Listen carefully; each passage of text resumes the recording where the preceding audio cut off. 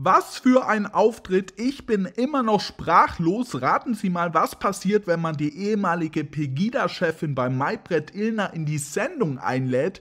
Richtig, es kommt zum Eklat. Niemand, also nicht die Gäste, aber auch Maybrit Illner konnten ihr ansatzweise das Wasser reichen Immer wieder hatten wir die absolute skurrile Situation, dass sie die, ja, ich sag mal, Machenschaften der Medien aufdeckte und zwar vor dem gesamten Publikum und vor den ganzen Gästen und denen blieb nichts anderes übrig, als sich das anzuhören und ja, ich sag mal, ganz baff irgendwie versuchen, dem Ganzen zu widersprechen, aber sie blieben vollkommen chancenlos.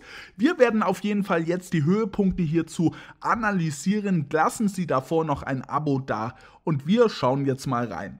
Schäne hinterfragt und bin äh, auf ganz andere Ursachen gekommen. Auf und die hier neue definitiv, Schuldige? Nee, nicht auf neue Schuldige, das ist nicht wahr. Ähm, dann müsste mir jetzt erstmal jemand erklären, wie es denn zu rechtfertigen wäre, zum Beispiel, dass in den letzten zehn Jahren äh, durch unbemannte Drohnen äh, 3000 äh, Menschen äh, ums Leben gekommen mhm. sind im Nahen Das Osten. schaffen wir in der Sendung nicht mehr, ja, ehrlich das gesagt. Das ist schon klar, aber wie, wie, wie kann das sein? Angenommen, es wäre andersherum, der Terror. Ne? Das wäre doch der Terrorismus, den wir uns hier wünschen, ne? den sich vor allen Dingen die Medien wünschen, den sie den ganzen Tag Ganz propagieren. bestimmt nicht. Also das darf ich jetzt in aller Deutlichkeit sagen. Den wünschen wir uns nicht. Hier an dieser Stelle beginnt die Sendung so richtig Fahrt aufzunehmen. Ich weiß nicht, wie es Ihnen geht, aber spüren Sie auch diese Aggression und Spannung, die in der Luft liegt. Wir werden gleich den nächsten Ausschnitt ansehen, aber davor möchte ich kurz auf das Argument von Malbret Illner eingehen. Sie behauptet ja, die Medien wären gar nicht daran interessiert, dass es in Deutschland zu Angst und Terror kommt, aber die letzten drei Jahre beweisen doch genau das Gegenteil. Die Medien haben den Lockdown massiv befeuert und schauen Sie sich mal diese Statistik an der 15- bis 17-jährigen Mädchen. Also die hat mich wirklich erschrocken, wenn man sich hier mal die Entwicklung der Depressionen, der Angststörungen, der Essstörungen und so weiter ansieht, dann sieht man, wir haben hier einen massiven Anstieg, der eben durch die Medien zu verantworten ist. Das grundlegende Problem, was ich eigentlich äh, hier nennen würde, ist, dass es eindeutig zu viel Propaganda gibt in Deutschland. Äh, darauf äh, ist eigentlich auch äh, Pegida entstanden. Es ist teilweise so verwirrend, ja, dass die Leute überhaupt nicht mehr wissen, äh, was sie so zwischen Gut und Böse zu unterscheiden haben. Mhm. Und ich kann da nur sagen, dass äh, ich die Leute einfach auffordere, selber anzufangen, nachzudenken und gewisse Dinge zu hinterfragen und gegebenenfalls ihr Weltbild zu ändern. Wer glaubt, dass die Propaganda mit dem Herrn Goebbels gestorben ist, dem muss ich leider die Illusion nehmen. Das meinen Sie gleich. Und ähm, das die Propaganda von Herrn Goebbels Moment, mit Moment, äh, unserem die, Land?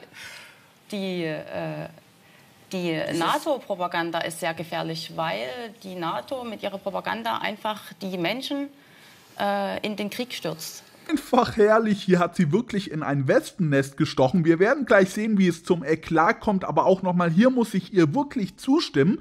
Goebbels war ja der Meister der Propaganda und die deutschen Medien, ja, ich sag mal jetzt ganz provokant, die unterscheiden sich ja nicht wirklich von ihm. Wenn man sich hier mal die einseitige Berichterstattung in den Mainstream-Medien anschaut, dann ist das wirklich erschreckend und Gott sei Dank wachen immer mehr Bürger auf. Schauen Sie sich mal diese Statistik an. Hier wurden die Bürger mit der Frage konfrontiert, wenn es um wirklich wichtige Dinge geht, ähm, kann man den Medien noch vertrauen und dann sehen Sie hier die Antworten der Bürger.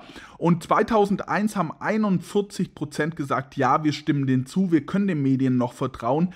Aber 33 Prozent haben gesagt, sie sind sich nicht sicher, also unentschieden. Und ganze 25 Prozent haben gesagt, sie stimmen dieser Aussage nicht zu. Also sie können den Medien nicht vertrauen. Und das gibt uns doch letztendlich Hoffnung als aufgeweckte Zuschauer, dass die Deutschen langsam aufwachen und sich nicht mehr alles gefallen lassen. Ich bin als Wutbürger im Oktober auf die Straße gegangen.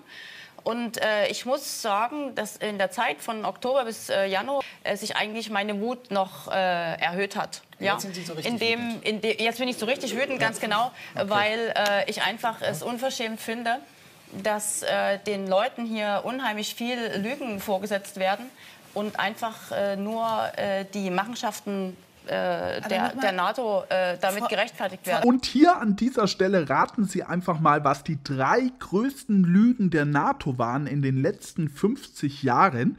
Diese Liste wurde von Historikern und Politikwissenschaftlern erstellt und auf Platz 3 liegt die Intervention in Libyen, der Libyenkrieg. Im Jahr 2011 wurde Gaddafi entmachtet und das Ganze als Begründung wurde aufgeführt, dass er einen Genozid an seiner eigenen Bevölkerung plant. Das hat sich aber nie so bestätigt und war letztendlich eine Riesenlüge der NATO und der USA. Auf Platz 2 liegt der Tonkin-Zwischenfall aus dem Jahr 1964. Hier hat die USA einfach mal behauptet, dass die Nordvietnamesen ihre eigenen Boote angegriffen hätten und haben daraufhin massiv den Krieg in Vietnam eskaliert. Und auf Platz 1, Sie können es sich sicherlich schon denken, liegt natürlich die Behauptung, dass im Irak Massenvernichtungswaffen lägen. Das hat sich aber als absolute Lüge entpuppt und war nur ein vorgeschobener Grund, um letztendlich den Irak anzugreifen. Kennen Sie noch weitere solche Beispiele? Schreiben Sie es doch mal in die Kommentare. Ich bedanke mich. Bis bald.